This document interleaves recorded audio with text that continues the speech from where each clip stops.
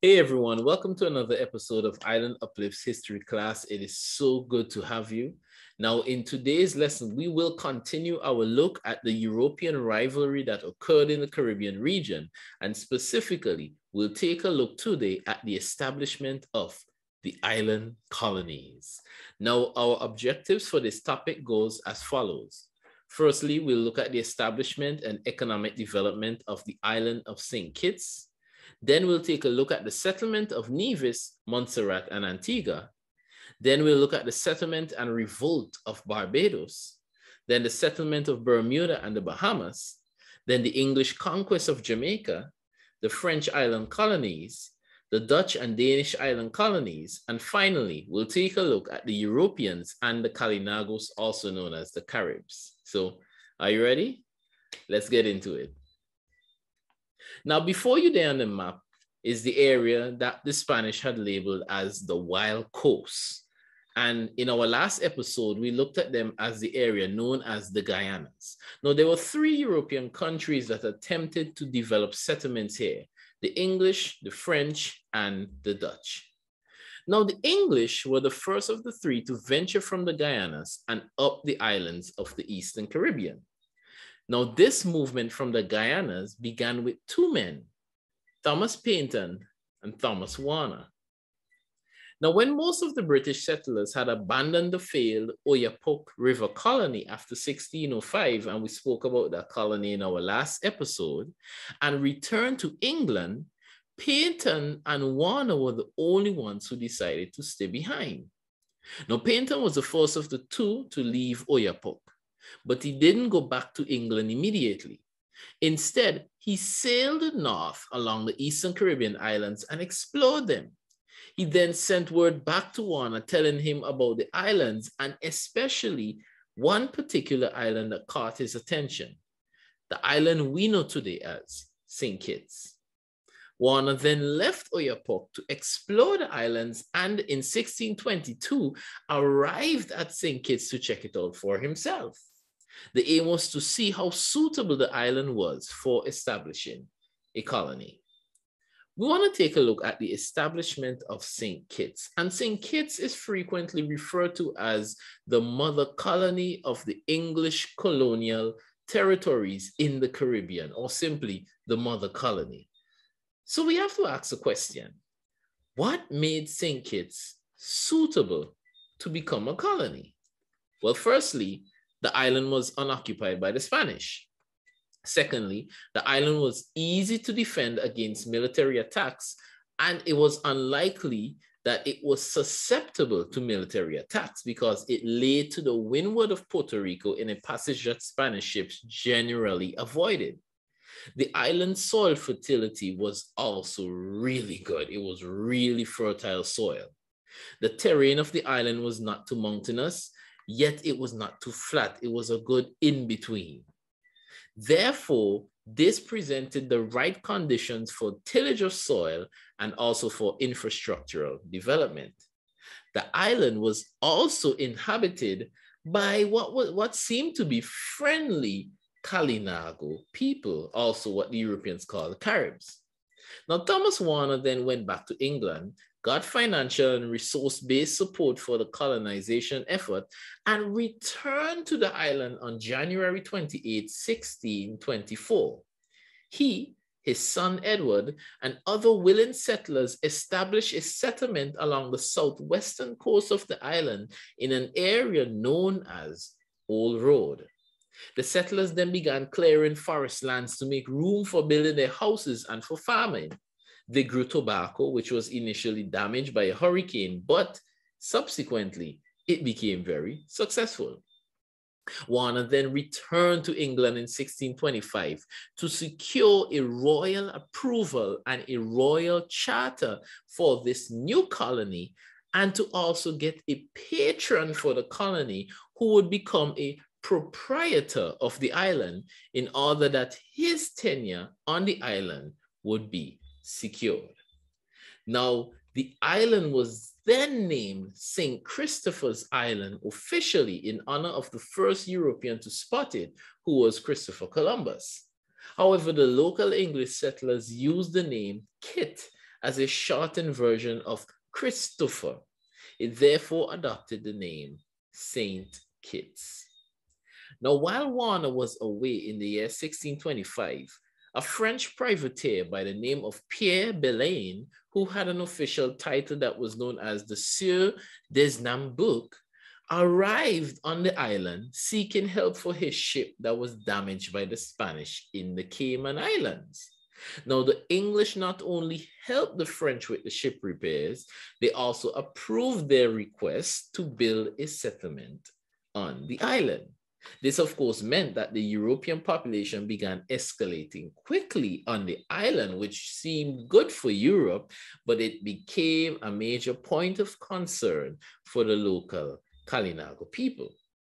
Now, upon Warner's return, remember, he went to England to deal with a lot of issues and, and deal with a lot of things concerning the colony to make things official for the colony. Upon Warner's return, the English and French had already established a united front that frequently fought against the Kalinagos or the Caribs. This led to many of the Kalinagos being banished from the island, being massacred, and many of the women being used as slaves. Now, a formal agreement was made between Warner or the English, and D'Esnambuc and the French, who, who represented the French, sorry, in the year 1627, which went as follows. Now, firstly, the English would occupy the middle section of the island as seen in the map right there, and the French would occupy the northern end and the southern end. The northern end was known as Capesterre, and the southern end was known as Basseterre. The English and the French would also have to share fish ponds, salt pans and ponds, harbors, roads, and fishing grounds. Both English and French settlers would live at peace with each other, even though their mother countries would be at war. This was a policy. And fourthly, both would fight with each other against any common enemy, primarily the Spanish and the Kalinagos. Then in the year 1629, the Spanish sent an armada because they felt threatened. So they sent an armada to attack the island and chase the English and the French away. Now, most of the English settlers were captured and sent back to England. The French and some of the English escaped to the hills to avoid capture. When the Spanish left, they either went back to reestablish their settlements or they became buccaneers. Now we want to take a look at the economic development of St. Kitts. Now, the main factors that define the economic development of St. Kitts were these four primary factors. First of all, there was an increase in the island's population. Secondly, there was the introduction of the proprietary system. Thirdly, there was the introduction of indentured servants. And finally, there was crop production and development. Now, the population of the island went from a little over a dozen in the year 1624 when it was just settled to over 3,000 by 1629. Then by the year 1640, it had risen to over 20,000, which included settlers on the southern island of Nevis.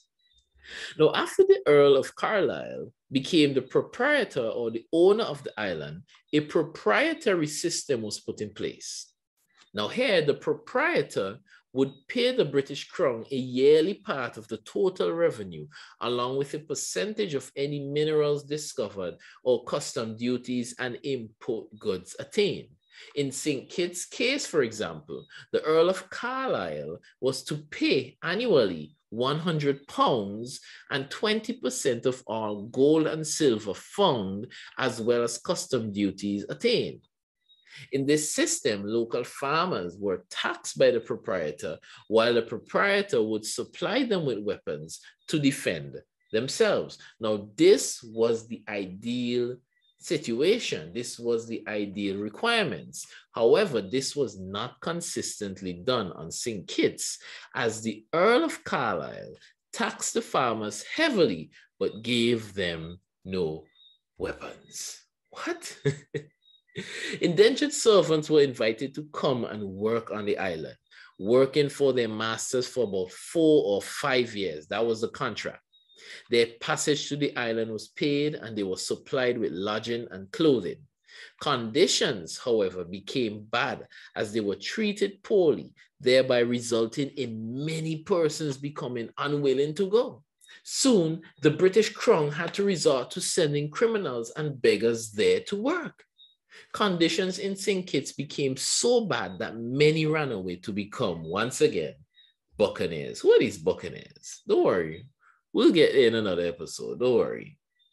Now, tobacco became the island's main cash crop, with Warner sending an initial shipment of 10,000 pounds of tobacco to England in the year 1625. However, the lack of proper subsistence farming meant that there were great food shortages and there were also low incomes. Some crops introduced by the English, such as wheat and other grains, also did not grow. So therefore, this brings us to the point of factors that challenge the survival of the St. Kitts colony. First of all, there were hurricanes. And you know that that was a challenge and still is a challenge for every single Caribbean island. Then there was the challenge or the, the impact of Kalinago raids. Then there was the lack of subsistence farming. There was unfamiliarity with tropical agricultural products. There was, fri- there was friction between the English and French communities. There was the threat of Spanish intervention. There were English settlers who were experiencing a lack of support from England. And finally, there was poor and selfish management of the colony by proprietors. Now, there were some other islands surrounding St. Kitts that were colonized by persons that Warner would have sent out from St. Kitts. Warner sent a man named Anthony Hilton to explore and settle the island of Nevis, which occurred in the year 1628. Hilton then became Nevis's first governor. Then, in the year 1632, Warner sent his own son, Edward Warner, to explore and settle the island of Antigua. Edward became Antigua's first governor. Then, in the same year of 1632, Warner also sent out Anthony Brisket to explore and colonize the island known today as Montserrat. Brisket became Montserrat's first governor. Now, Warner felt free to send persons to explore and colonize these neighboring islands because they were already declared by British monarch King Charles I as belonging to Britain. In his royal charter of the year 1625, King Charles I saw the lands as being discovered by Thomas Warner, as being occupied only by a savage and heathen people, and as not being in the possession or under the government of any Christian prince, state, or potentate. The charter included the islands of St. Kitts, Nevis, and Montserrat, along with other islands in the immediate region. But there was another island that was explored, and it was an island that was located to the northeast of St. Kitts. It was called Barbuda. It was explored in 1628, which was the same year that Nevis was colonized. However, this island was very barren and it seemed to be a bit too hostile to be colonized, and such efforts of colonization were quickly abandoned. Now, Barbuda was explored in the first place because many thought that it was mentioned in the king's charter. Because you see, a name of a particular island was mentioned along with St. Kitts, Nevis, and Montserrat. And it was assumed that the king was alluding to the colonization of Barbuda. So they saw the island. So when they saw what the king wrote, they said, well, it has to be the king. The king means Barbuda. However, it was realized that the king in his charter was not referring to the island of Barbuda. He was in fact referring to the specific name that was actually written he was referring to the colonization of the island known as Barbados. So let's take a look now at the settlement of Barbados. Now, the colony of Barbados was not founded by an individual per se, It was founded by a maritime company called Courteen Brothers. Now, Courteen Brothers conducted business with both Dutch and English settlements in the Guianas and in Brazil. Now, in the year 1625, while sailing from Brazil to England, one of the company's ship captains, a guy by the name of John Powell, saw and landed on the island of Barbados, claiming it for England. Powell told Sir William Courteen, who was one of the ship's founders and owners, about it, and Sir Courteen decided to engage in colonizing it. Okay. He left, meaning Sir Courteen, he left the colonizing effort in the hands of Powell and his brother, Henry Powell. Now, Henry Powell arrived on the island in February of 1627 with 80 men, 80, 80 men, and they established a settlement on the western coast of the island called Jamestown. Now, Jamestown was later renamed to Town, which is the modern day name for this specific location. Now, the English settlers then sought the expertise of the Dutch, specifically seeking the help of Groenewegen settlement in Dutch Guiana. Remember, we spoke about Groenewegen and his settlement? Well, just ensure to look back at our previous episode to get more insight into that. Now, Groenewegen sent 32 Arawaks who helped to show the English how to cultivate tropical crops such as maize and tobacco, as well as sending them other plants, seeds, and seedlings. The English, however, were not grateful. Instead, they reacted by enslaving the Arawaks that was sent. Oh my goodness, wow. Now, what made Barbados a suitable place to build a colony? We asked this about St. Kitts, let's ask it now about Barbados. Firstly, Barbados was located to the windward of the other Eastern Caribbean islands, thereby making it difficult for the Spanish to attack it from any of their Caribbean bases. Secondly, it was uninhabited by both the Spanish and the Kalinagos. Now, there were Amerindian people groups on there and they lived there before, but it was practically uninhabited by both the Spanish and the Kalinagos. Now, there were hardly any mountains, which made agricultural and infrastructural development easy to achieve on Barbados. The soil was also very fertile. There were also many forested areas with dyewood trees, which opened up the possibility of the English operating a timber industry, as well as necessary provisions for infrastructural development. So Barbados was poised to be the ideal colony for the English. But even though it seemed ideal, there were many difficulties that occurred in establishing Barbados as a colony. Now, the Courteen brothers invested up to 10,000 pounds towards the development of Barbados. The population also began to increase, although initially it was not as high as that of St. Kitts, but eventually it actually grew faster than the population on St. Kitts. Now, the Courteen brothers had the Earl of Pembroke as their patron. However, remember the Earl of Carlisle from St. Kitts? The Earl of Carlisle, who was already the patron of St. Kitts, claimed Barbados as his own. Oh, Lord, this guy. Despite the Courteen brothers petitioning to King Charles I to fix this matter, King Charles supported the proprietorship of the Earl of Carlisle for Barbados. Now, Carlisle then appointed Charles Wolverstone as governor of Barbados. Henry Powell disagreed with this and reinstated his brother, John Powell, by force. Then in the year 1629, the settlers on the island accepted Wolverston as governor because, as every politician tends to do, he promised them 10 acres of land each. Oh boy.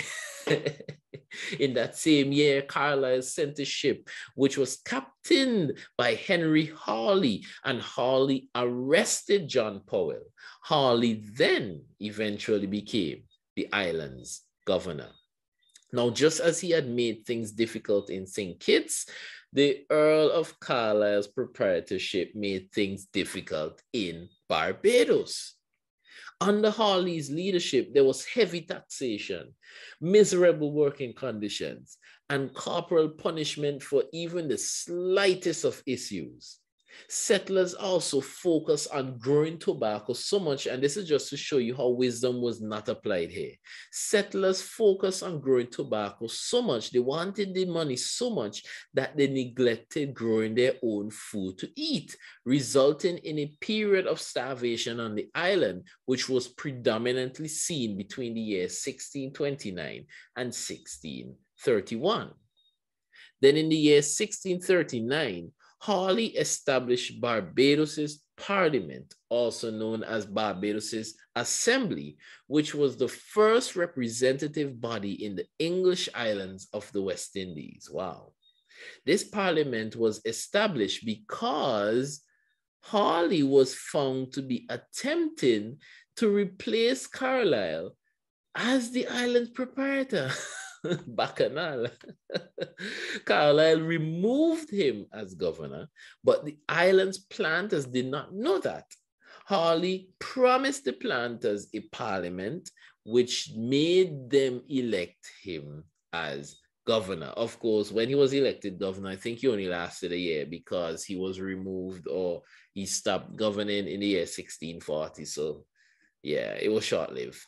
Now, Barbados grew faster than St. Kitts population wise and economically. By the year 1639, there were over 30,000 settlers on the island. Now, subsistence crops had to be grown to combat the occurrence of starvation as a result of the increase in population and as a result of the island's dependence on tobacco. Cassava, maize, ginger, and indigo were grown, and tobacco was traded with Dutch merchants for salted meat and other food supplies. And this was done while the Dutch were passing Barbados en route to the Guianas and to Brazil. Now, initially, the colony of Barbados was seen as being underdeveloped with poor housing, poor roads, and primitive agricultural practices. However, by the year 1657, the Barbados colony had become a well established and refined colony. But an interesting event then occurred on Barbados, an event known as the Revolt of Barbados. Now, in the year 1642, civil war broke out in England. What? King Charles I was seen as introducing arbitrary rules and even had members of the British Parliament arrested. As a result, in the year 1649, Charles was eventually opposed and executed. Then from the year 1642 to 1660, England experienced a period known as the interregnum, which saw the country as being a republic under the leadership of Civil War leader Oliver Cromwell. So therefore, in this 18 plus year period, there was no official British monarch who was officially sitting on the crown, on, on the throne. Wow. Now, the settlers of St. Kitts Barbados, and the other islands decided to be neutral in the whole affair. Although this was the official stance, in reality, there was a divide that was created in the colonies between anti royalists and pro royalists. Now, the new British Parliament began taxing the West Indian colonies heavily. Big mistake. Barbados was seen as being more independent than the other colonies as it had its own parliament and its own trade mechanism that was conducted with the Dutch. And that trade mechanism was independent of England. As a matter of fact, Barbados traded so much with the Dutch that they didn't need to be dependent on England at all. This, of course, was seen as a threat in the eyes of England. Therefore, when Lord Francis Willoughby of Parham arrived in the year 1650 to act as the island's new governor, he used this as an opportunity to revolt. This was because Willoughby was pro royalist and was actually appointed by the new monarch, King Charles II, who was technically not the official monarch because he was operating in exile. Now, Willoughby openly proclaimed King Charles II as king. and sought the support of the other islands, which only Antigua kind of gave official support, but he still sought the support. Cromwell and the British Parliament then instituted an act called the Navigation Act of 1650, which sought to control the trade and economy of Barbados and even sought, unofficially, but really and truly, it even sought to give a perception of the settlers on Barbados as traitors, thereby banning all trade with the island all trade, meaning even trade with England. They were trying to ban all trade to really somewhat punish these traitors. In the year 1651, Governor Willoughby then retaliated with this Navigation Act by issuing a Declaration of Independence. Wow. The British Commonwealth, led by Cromwell, sent a fleet led by Sir George Ayscue, who forced Willoughby and his men on the island to surrender. Now, here's the thing many of Willoughby's men then went over to Ayscue's side, thereby leaving Willoughby powerless. The articles of surrender were drawn up in 1652, and Willoughby was removed from his position as governor and was also removed from the island. Barbados was allowed to keep its parliament and governor, and taxation measures would be instituted only by the consent of the Barbados Parliament, meaning they had to speak um, with the Barbados Parliament and come up with a taxation solution instead of just implementing the taxes on them like that. All trade bans were lifted except that the island was prohibited from trading with the Dutch. Now, Cromwell then appointed Daniel Searle as the island's new governor. Now, Willoughby, he didn't stop there though. Well, at least he didn't continue any further pursuits with independence for Brazil. But Willoughby went to the Guianas and established a colony there with some of the settlers from Barbados. The colony became a prosperous one focusing on sugarcane production. The colony would then later grow and develop into the country known as Suriname. Now, despite Barbados not actually becoming independent, the revolt brought to light the grievances that the colonies had with their mother country. This would open the floodgates that would later lead to events such as the American Revolution and the eventual end of the British rule in the centuries to come. But check this out. If the Barbados revolt was indeed successful, it would have made Barbados the first independent nation, meaning independent from European colonial rule, to be established in the Western Hemisphere. Wow, wow, wow, wow. Let's look at the settlement of some of the other islands in the region. Now, Bermuda and Bermuda geographically is not near the Caribbean region, but historically and culturally, it is pretty much Caribbean. Now, Bermuda was discovered by the Spanish in the year 1506. However, they did not formally settle on it. The English were the ones who settled on it in the year 1609, almost, um, almost 100 years after, a little over 100 years after, actually. It became the first island to be formally settled on by the English in the New World. Now, residents on the island became expert sailors and fishermen. Now, years later, in the year 1648, William Sayles formed an institution known as the Company of Adventurers for the plantation of the islands of Eleutheria. Now, Sayle and his company ventured out and explored and established a colony on an island in the Bahamas that is still known today as Eleuthera Island. Now, Eleuthera is Greek for freedom. Now, the British monarch at the time, King Charles II, in the year 1670, and this is after the whole Oliver Cromwell, England is a republic fiasco. King Charles II is now back on the throne. So he is now doing his kingly duties. So King Charles II granted all the islands of the Bahamas to a group who were the proprietors of the English American colony known as Carolina. Now, the group from Carolina created a settlement on New Providence Island in the year 1672. Now, back to the Bermudians. Now, remember, they had they were the first ones who, who went over to Barbados to try and establish something there. The Bermudians then began gathering salt on the Turk Islands or the Turks Islands from the year 1678, and they established trade routes involving salt with other sister colonies. As a result, a triangular route what as a result, a triangular route was established that saw salt being traded between the Bahamas, the American colonies, and Bermuda. Then in the year 1684, a Spanish fleet, they felt threatened. So they felt threatened. A Spanish fleet from Cuba attacked and plundered Eleuthera Island and New Providence Island. The settlement on Eleuthera Island ended as a result of this, but the settlement on New Providence Island bounced back from the attack.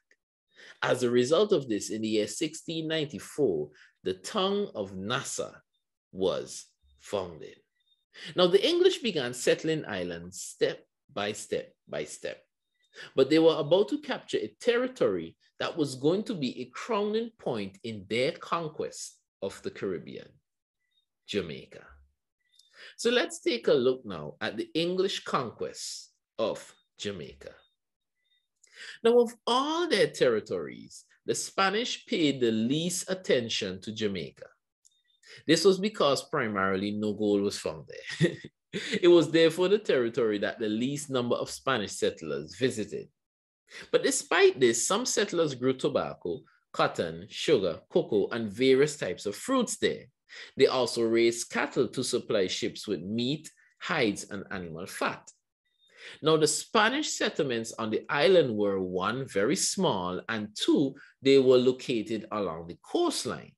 Only the island's capital, which was Villa de la Vega, also known as Spanish Town, was seen as a large settlement.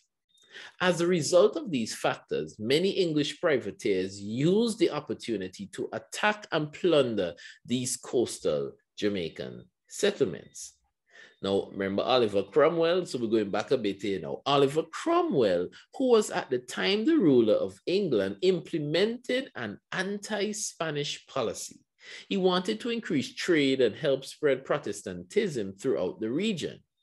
He was then advised to progress in attacking the Spanish by trying to capture Hispaniola in a plan that was known as the Western Design. This was a stupid move because, yes, we know the British presence, the French presence, and the Dutch presence would have weakened Spain to an extent, but it would have been absolute suicide in those days to try and touch Hispaniola. Absolute suicide. In the year 1655, Cromwell sent a fleet under the leadership of Admiral William Penn to capture Hispaniola. This venture proved to be unsuccessful as Santo Domingo was well fortified, and the journey caused many English soldiers to die from sickness and exhaustion. Havana in Cuba and San Juan in Puerto Rico were also highly fortified. So they're wondering, what can we do? There was therefore only one option. There was only one island that they could have possibly attacked, and that was Jamaica. Now, on May the 10th, 1655, the English landed at Passage Fort, which is in the modern day Kingston Harbor. Now, the Spanish had a fighting force of about 500 soldiers throughout all Jamaica. so the English were easily victorious. Now, the Spanish fled to Villa de la Vega or Spanish Town and carried their valuables with them. The English hesitated to go after them, which was a big mistake.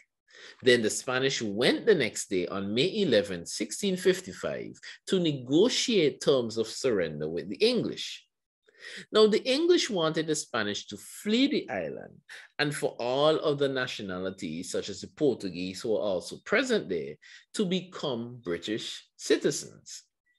The negotiations took a week to be finalized. And guess what the Spanish did? The Spanish used that week duration, they used that time to flee to the north coast of Jamaica and into the mountainous areas like the Blue Mountains and so on. Then General Robert Venables, who led the attack on Jamaica, who also led the failed attack on Santo Domingo, and his men, they were senseless and unstrategic, I guess you can say unstrategic, in conquering Jamaica.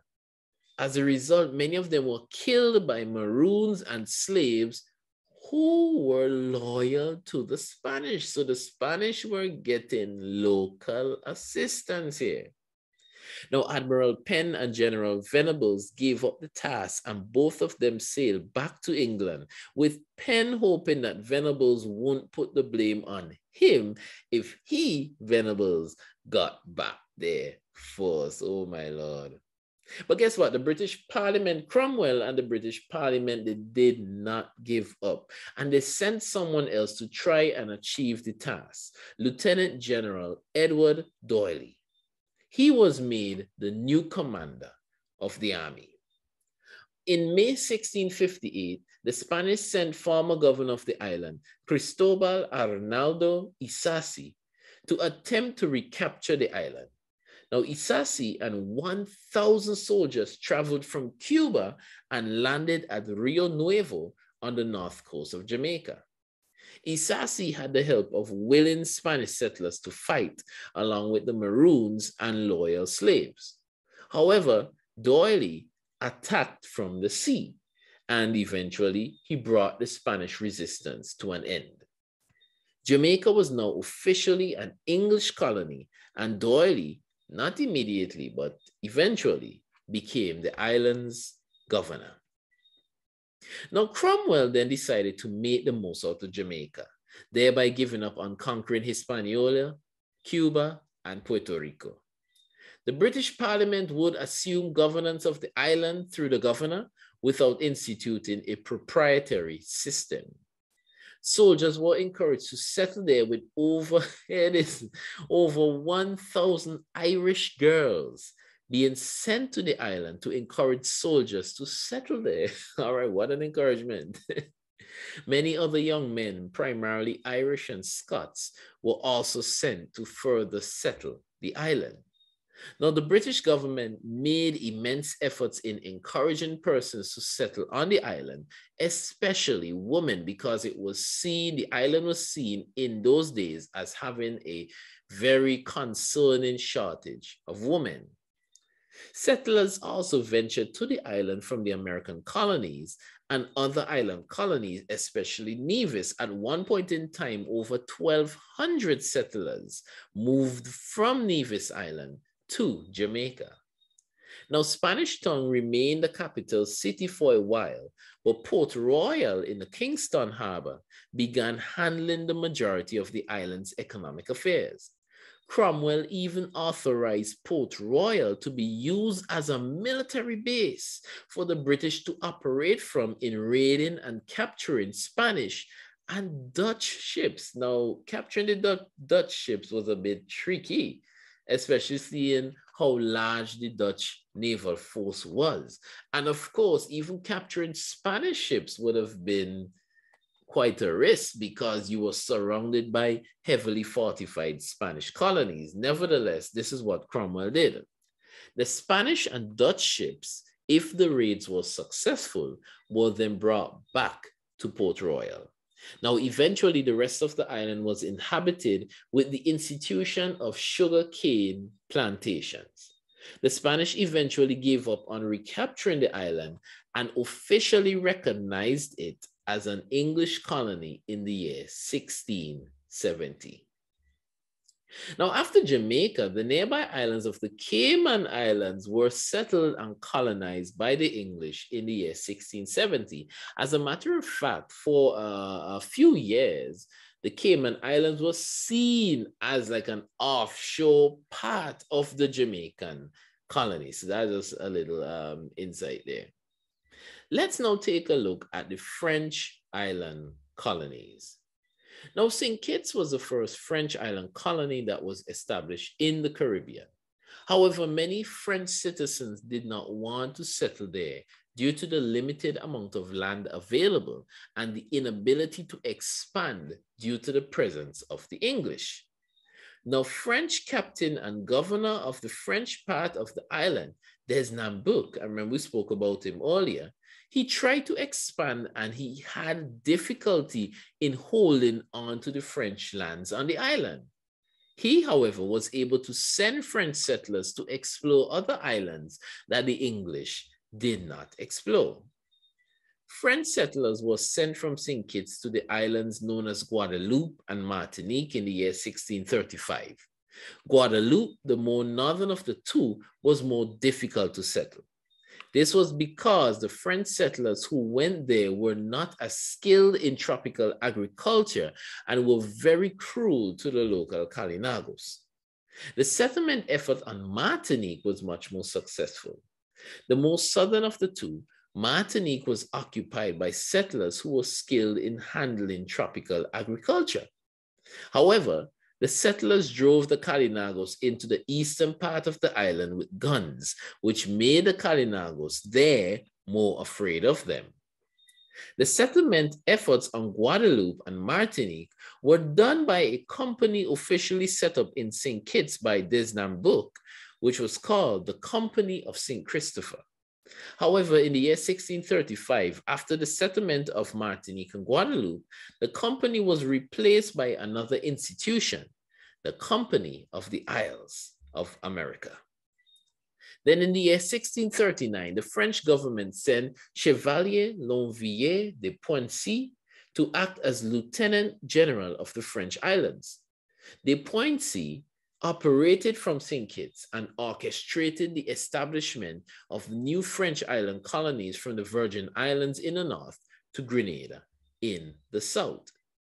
Now, there were contentions with the island of St. Croix as it was settled by the English and Dutch jointly since 1625, which didn't sit well with the Spanish who tried to drive them out. However, a collaborative effort with the French helped the three nations to overcome the Spanish and recapture St. Croix.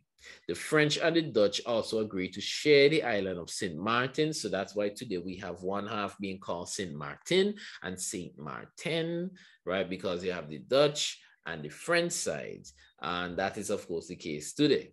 Now, De Poincy then set up a governor in Martinique who was to capture the island south of Martinique.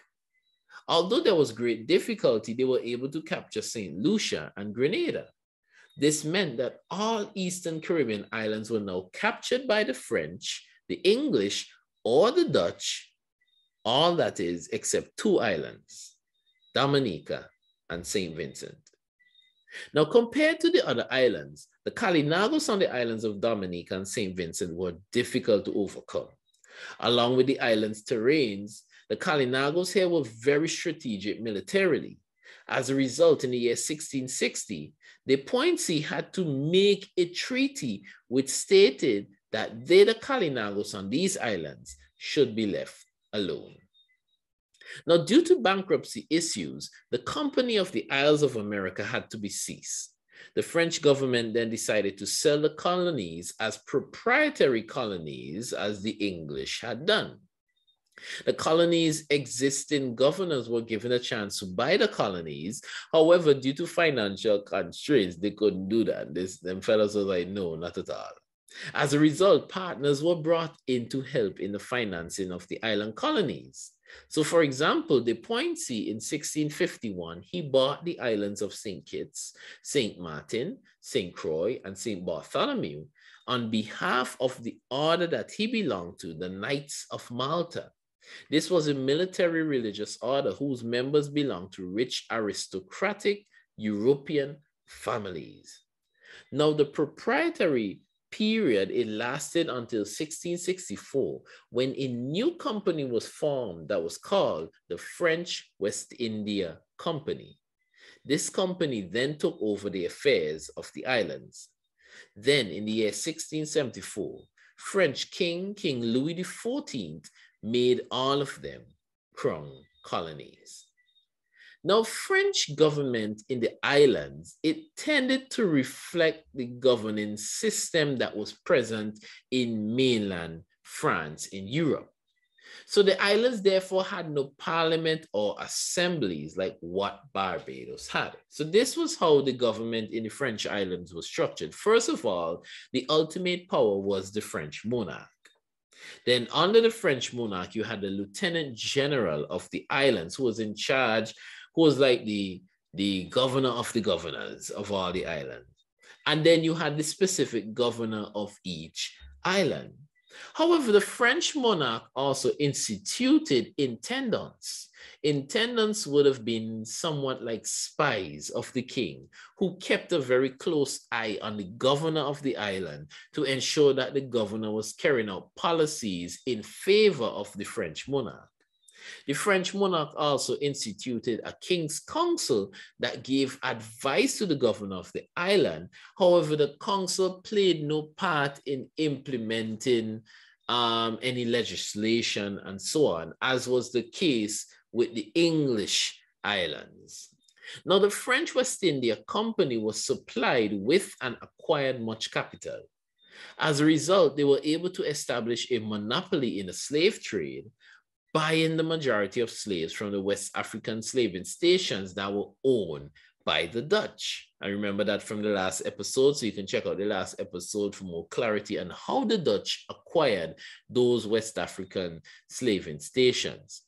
Now, the company then began taking over the slave trade with the government assisting by giving concessions. So, for example, there was the absence of import duties with bounties paid for each slave exported. Many French settlers wanted more slaves, which made this venture initially successful. However, they wanted to continue trading with the Dutch. As a result, after the bankruptcy of the West India Company, French settlers were free to trade with foreigners and vice versa. Now let's take a look, just a brief look at the Dutch and Danish island colonies. Now, the thing with the Dutch is that unlike the British and the French and the Spanish, they were more interested in establishing trading stations and not necessarily establishing plantations. They were also more limited in manpower than the other European powers because their population was lower. So, therefore, they wanted to concentrate that available manpower more in the settlements that they captured from the Portuguese in the Eastern Hemisphere. Now, the Dutch attempted to settle the island of Tobago in the year 1628, but they were driven away by the local Kalinago people. His second attempt in Tobago was made in the year 1633, but it ended just after three years, this time with the Spanish destroying that settlement. The Dutch then decided to settle smaller islands that the Spanish disregarded. These islands included St. Thomas, Tortola, Anguilla, St. Eustatius, St. Martin, and Saba, all of which were colonized by the Dutch between the years 1630 and 1648. They eventually lost Anguilla and Tortola to the English in the years 1650 and 1672, respectively. The Dutch also settled on the islands of Curacao, Bonaire, and Aruba in the year 1634. Now, the Spanish officially recognized the independence of the Netherlands, their colonies, and the right of their vessels to navigate and trade in the Caribbean in the year 1648. Now, the Spanish kind of had no choice but to do this due to the increasing strength of the Dutch Navy.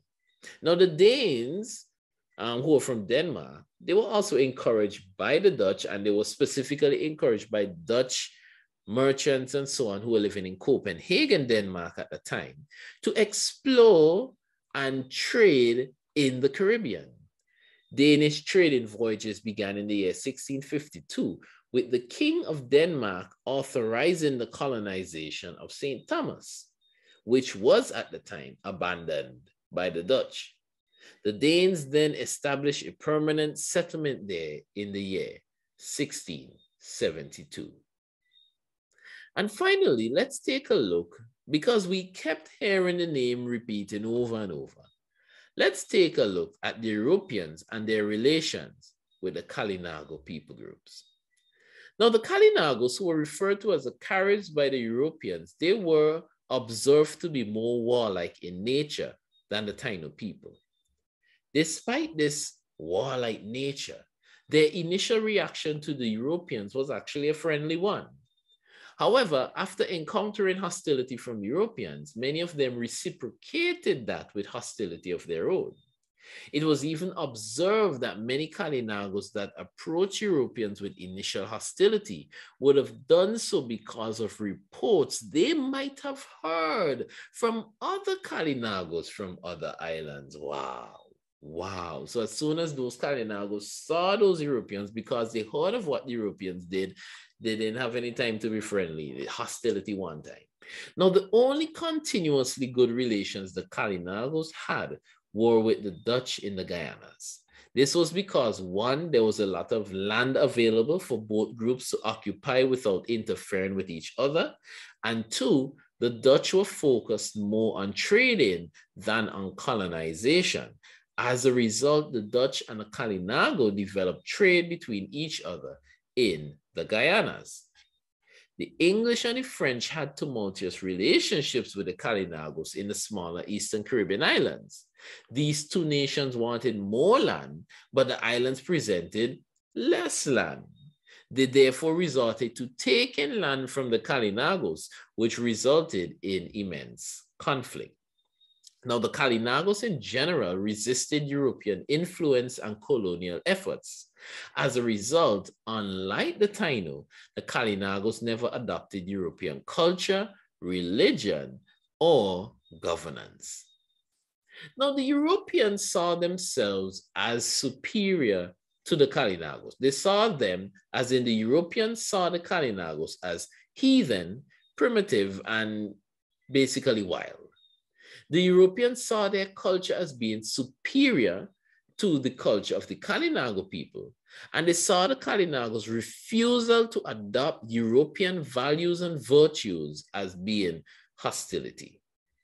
Now, despite all of this, many Europeans had relations and even marriages with Kalinagos women. Thomas Warner, for example, the first settler of St. Kitts, was in a common law relationship with a local Kalinago woman. And even Groenewegen from the Guianas, he also had a marriage with a Kalinago woman that lasted for 40 years. That's very good.